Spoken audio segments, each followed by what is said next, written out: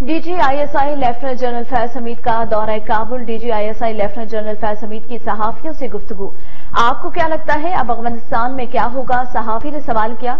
DG ISI ने सहाफी को जवाब दिया कि फ़िक्र ना करें, सब अच्छा होगा।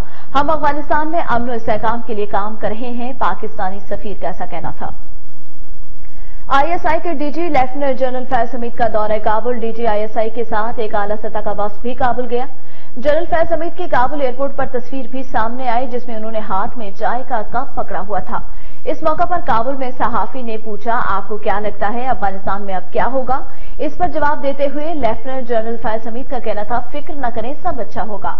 काबुल में पाकिस्तानी सफीर ने सवाल के जवाब में कहा कि हम अफ़गानिस्तान में अमनो इसकाम के लिए काम कर रहे हैं। Will you be meeting senior people in the Taliban? No, not, I'm not clear. He, will, he may be able to arrange What do you hope will come out of this, of your, what do you hope is going to happen now in Afghanistan? What is your best I have hope? just landed and... Uh, We are working for peace and stability Peace. in Afghanistan. Don't worry. Everything will be okay.